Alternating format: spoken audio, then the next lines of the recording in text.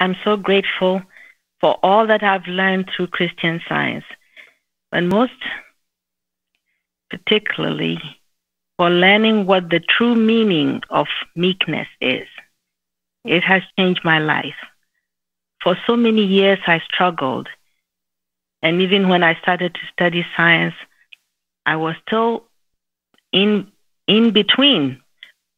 I was trying to do something instead of letting God, knowing the truth in my heart and letting that truth, God, work. Until I learned that meekness, what Mrs. Eddy talks about, is, is needed. Without it, we are not doing science. And she says that because is that yielding, the will, the willingness to make God all, to follow completely. And somebody gave an example of how water takes the form of everything or anything that it is poured into. In other words, complete absence of resistance. And I learned this, and practicing it, it healed my fears. I finally said, my, Father, here I am.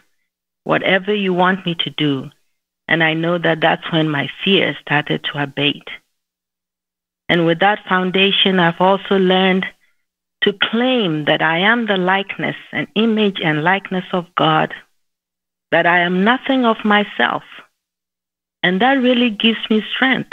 It makes me know that whatever comes my way, because of that presence of God, there is victory if I stay persistent and patient in my practice.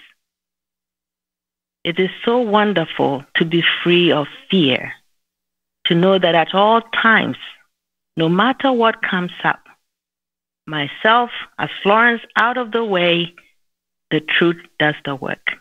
I cannot thank God enough. I cannot thank Mrs. Eddy enough.